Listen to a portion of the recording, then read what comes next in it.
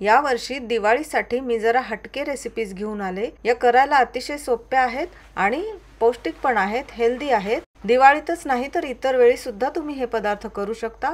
ऑफिसमध्ये घेऊन जाण्यासाठी सुद्धा हा अगदी चांगला ऑप्शन आहे. बाहेरचं काहीतरी घेऊन खाण्यापेक्षा हा पदार्थ बनवा. हा डाएट चिवडा बनवायला घरी अगदी दोन ते तीनच मिनटं लागतात. चला मग जास्त वेळ न घालवता लगेच रेसिपी बघूया. नमस्कार. मी डॉक्टर चारुता कोपरकर. माझ्या चॅनलवर तुमचं परत एकदा स्वागत आहे.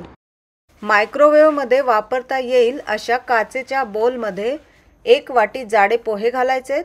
त्याच्यामध्ये आठ ते दहा कडीपत्त्याची पानं घालायची आहेत. आणि मग दोन मिनटं मायक्रोवेव्हमध्ये मोड काही बदलायची गरज नाही. मायक्रोवेव्हच्या मोडवरच आपण हे दोन मिनटं छान भाजून घ्यायचं आहे. हे छान कुरकुरीत झाले पाहिजे. मायक्रोवेव्ह नसेल तर कढईमध्ये सुद्धा तुम्ही हे कुरकुरीत भाजू शकता. आता हे छान भाजलं गेलं आहे आता याच्यामध्ये अगदी थोडंसं मीठ घालायचं आहे चवीनुसार. हा डाएट चिवडा असाच असतो जरा हलकाच स्वाद असतो याचा. आणि ह्याच्यामध्ये साधी मीठ घातलेली जी बारीक शेव असते ती शेव घालायची. आणि हे सगळे जिन्नस मिक्स करून घ्यायचे. आणि तुमचा छान डाएट चिवडा तयार आहे. हा तुम्हाला नक्कीच आवडेल चवीला जरूर करून बघा. अगदी छोटी छोटी भूक असेल त्यावेळी मंच करायला हा अगदी छान पर्याय आहे. तर जरूर करून बघा. तुम्हाला आवडल्यास लाईक करा शेअर करा आणि माझ्या चॅनलला सबस्क्राईब करायला विसरू नका. थँक्यू